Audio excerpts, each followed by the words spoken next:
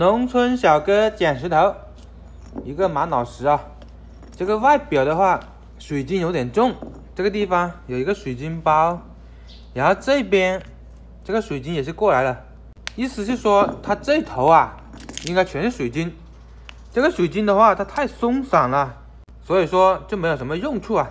然后整个石头的焦点就在这一头了，因为这个地方发现一个小小的眼睛，还有这里啊。隐约的也可以看到有一个小点，不知道它能不能出现一个眼睛呢？这头敲开的话，它里面是有点红，然后打灯，红色它透光就不是很大。这块石头重点啊就在这一头了，如果切开它行的话，应该也有图案；如果切开不行的话，估计又是扔掉了。石头这个东西啊。很难说的啊，所以说只有把它切开了，才能更清楚的来认识它。好，我们就给它上机器，给它切上一刀，看一下有没有奇迹的出现啊。一共给它切了好几刀下来了，这个水晶感觉有点重啊。我们来看一下切开的效果吧。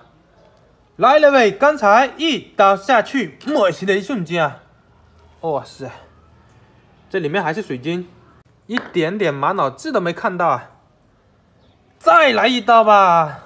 哇塞，这刀进来的话，玛瑙痣倒是有一点，但是感觉很杂乱呢。这边还出现了很大一个面积，杂杂的啊！直到切到这一刀，才看到有一点点玛瑙痣啊！后面还是不甘心哇，因为刚才这边。它这里是有个敲口的，这里是有个敲口，发现里面有一个眼睛，而且旁边还是红色啊。我们来看一下最后一刀吧。